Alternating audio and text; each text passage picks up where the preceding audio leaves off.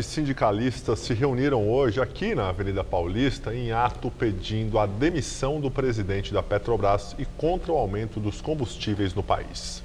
O ato contou com a participação de várias centrais sindicais e movimentos sociais, também o MTST, Sindicato dos Professores e também muitos estudantes. O grupo se concentrou na frente da sede da Petrobras, na altura do número 900 da Avenida Paulista, sentido Paraíso. Depois teve uma caminhada e eles vieram para o lado oposto da Paulista, no sentido Paraíso, onde existe um outro escritório também da Petrobras. O ato foi convocado para protestar contra a política de preços e reajuste no valor do combustível da Petrobras e também pedindo aí pela manutenção do patrimônio e autonomia da Petrobras. O grupo gritou a todo momento palavras de ordem contra o presidente Michel Temer e também contra aqueles que pedem uma possível intervenção militar no país.